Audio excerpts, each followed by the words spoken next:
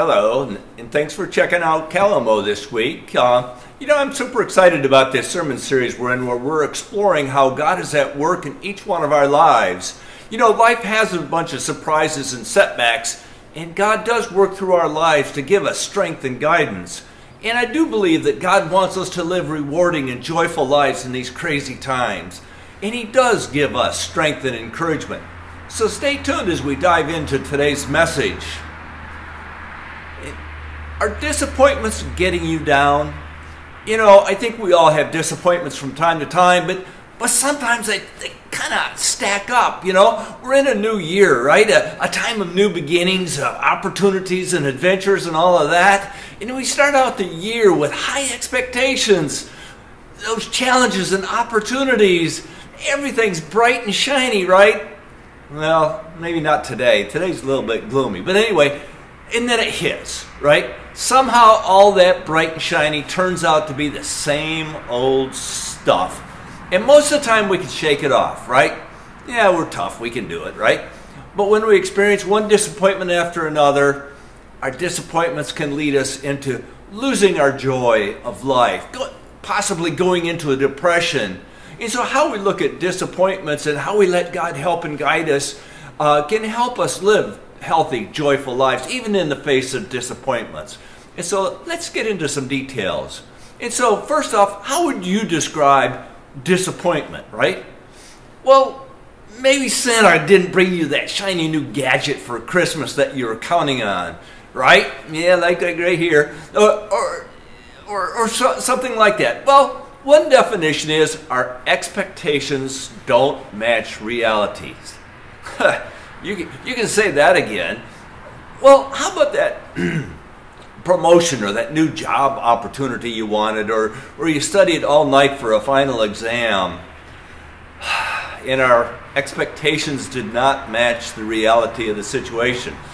So, what do you do? And so, let's get started with our opening question this morning. What do you do when you're faced with a, a big disappointment? Well, like we talked about in last week's message, how we face our disappointments has a huge impact on our lives and, and our joy of life.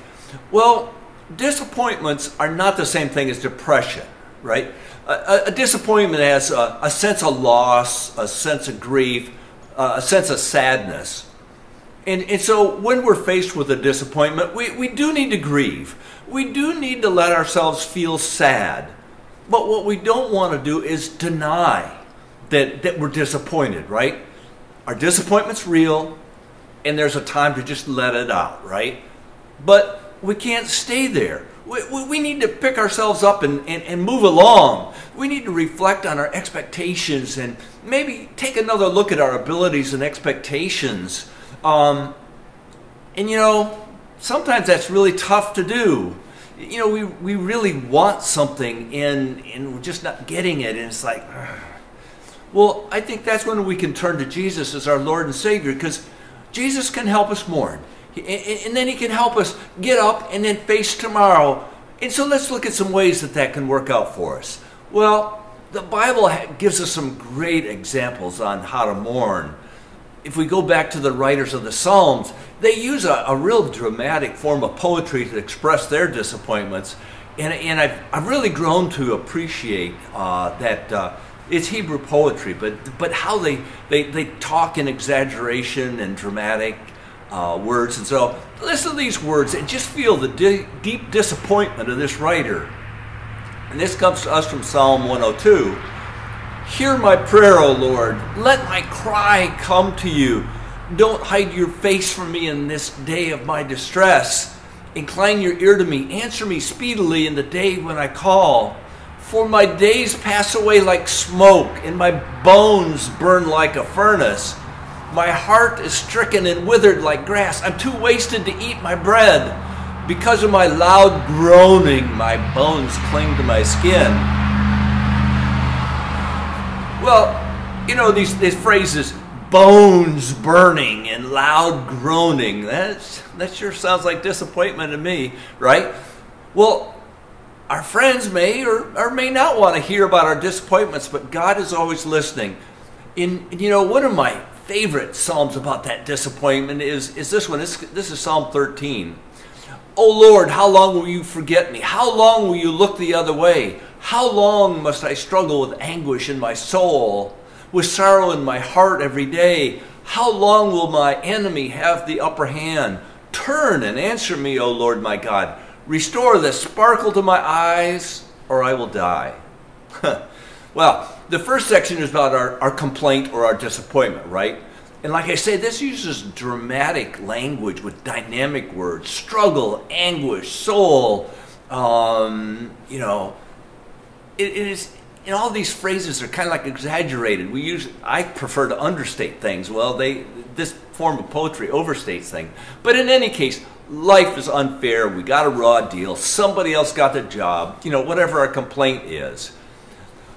Well, the next section helps us to move past that disappointment, and it goes like this But I trust in your unfailing love. I will rejoice because you have rescued me. I will sing to the Lord because he is good to me. And so the writer of this psalm is expressing their confidence that God will provide healing for their pain and a solution for the wrong that we suffered. Well, as we deal with our disappointments, once we've expressed our sadness and disappointment, it is time to move forward, right? And so the first step, let's go back in that process, let's go back and consider the definition of disappointment, which is when our expectations don't match reality. And so we can use our disappointments as an opportunity to reflect on the reality of the situation. What have we missed?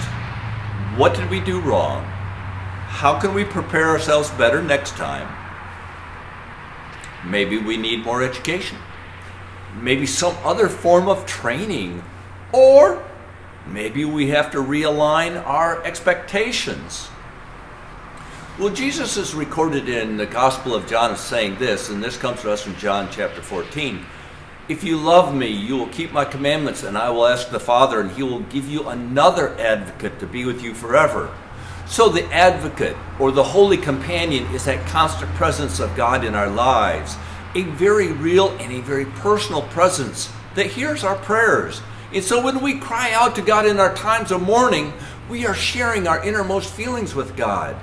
And when we call out to God to intercede for us, we are opening up this channel to receive help from that holy companion.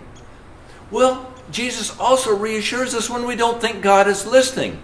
We hear this in, uh, in Luke chapter 18, and these are when Jesus told them a story about their need to pray always and then not to lose heart. And he said, in a certain city, there was a judge who never feared God nor had respect of people. So this is a, a judge that was kind of ornery, and, and there was a widow that had been wronged. And she just kept going back to him and saying, Judge, you got to do something. And, and the judge finally gave up and said, Oh my goodness, this lady's never going to let me go if I don't give her whatever it is she wants. And so Jesus said this Listen to what the unjust judge says and then and then he says and will not god grant justice to his chosen ones who cry to him day and night? And so jesus is telling us to be persistent in our prayer because we keep praying. We don't think god's listening but he is and he will provide.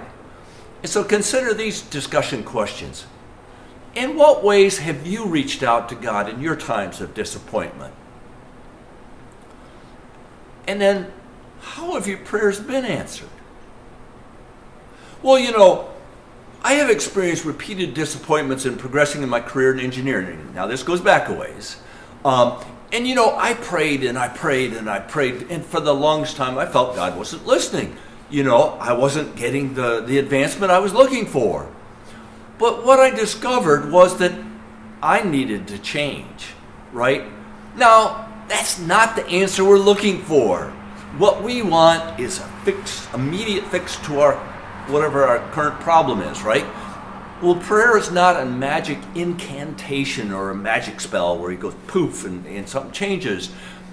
It is our sincere desire for something, but God does know what's best for us. And so the last point I want to make, wanted to make, is that sense of confidence we gain when we trust in God. That, that God does know what's best for us, and He does care for us and, and give us what we need. Um, Jesus promises us the constant presence of the holy companion or the holy advocate or the holy presence of God, however you want to think of that presence. Jesus also reassures us that we need to be persistent in our prayer. Don't pray once and just call it good. Just keep on talking to God. And so let's take another look at that Psalm 13 and see how it ends. And this is chapter or verses 5 and 6 of that psalm. But I will trust in your unfailing love. I will rejoice because you have rescued me. I will sing to the Lord because he is good to me. And you know, for me, these words give me comfort in my disappointments and my setbacks because these words have survived over the years. And they survived because they were a true representation of what the people of God experienced. In other words, that resonated with them. Yes, that's how God has answered my prayer. And so these are not story tale, fairy tale, uh, fairy tales or, or, or just storybook tales.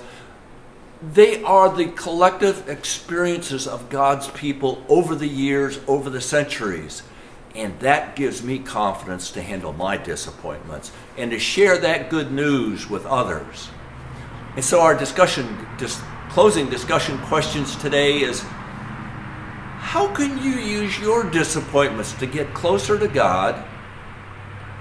And then, in that getting closer to God, how can our trust in God give us confidence, more confidence in our day to day lives?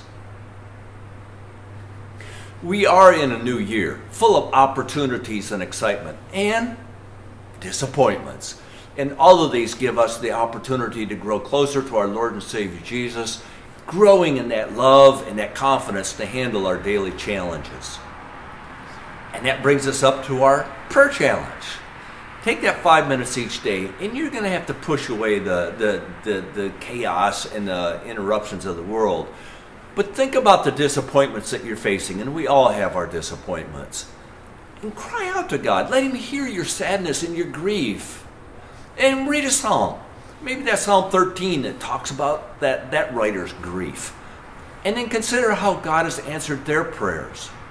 And then pray to our Lord and Savior Jesus. But whatever you do, talk with God often, trust in the Lord, and feel your confidence grow. I hope you found this message to be helpful. If you'd like some more information, please reach out. You can put a comment in the chat box for this post. You can call or text me at 517 588 8415. Or you can always use the Kalamo online connection card at kalamochurch.org forward slash connect dash with dash Kalamo. Whatever way, you know, let us know what you think, or if you got any questions, you know, reach out. We'd love to talk with you about it. And now, would you please pray with me? Dear Heavenly Father, we thank you so much for being such a loving Lord and Savior. And Lord, we all have disappointments. And so I pray that we find in you that solution to our disappointments, that, that you reveal your presence to the Holy Companion to let us feel the warmth of your love in those times of distress and disappointment. And Lord, we just thank you more than we can, we can say. And we pray all this in Jesus' holy name. Amen. I'm your neighbor, Jerry pastor at Kalamo Church. Have a great day. Have a great week. And bye for now.